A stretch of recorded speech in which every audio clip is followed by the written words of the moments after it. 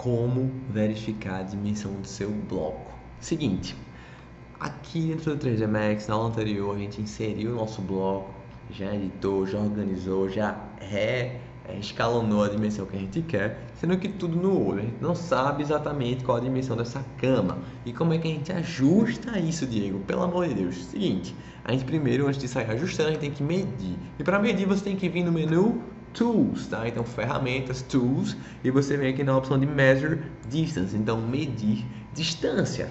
Até tudo bem. E quando você vai clicar no seu elemento, você fica, poxa, Diego, era bom que tivesse um snapzinho feito no AutoCAD, né? Porque senão eu vou clicar aqui, vou clicar aqui e eu não sei realmente se eu cliquei nos pontos corretos. Então, o que é que eu vou fazer?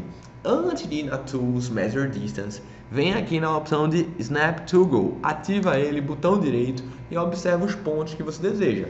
Vou deixar ativado perpendicular, vertex, tangente, endpoint, midpoint, deixei ativado os cinco pontos principais. E agora quando eu for no Tools, Measure Distance, automaticamente vai aparecer o ponto de referência. Então vou dar um clique, desloco, clico no meu segundo ponto e observa aqui aqui vai aparecer a distância que eu verifiquei, ó, 1.88.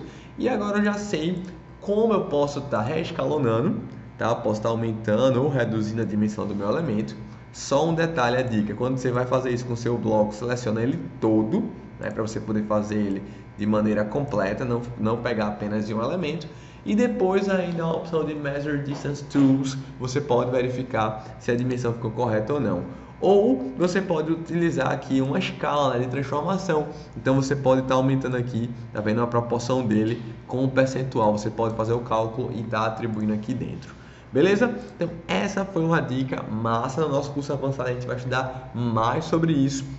Mas na nossa próxima aula eu vou começar o módulo de revisão do 3D Max. Então te convido a ver o módulo de revisão com tranquilidade para a gente poder iniciar, fazer nossa prova e concluir o curso básico. Então um forte abraço Valeu!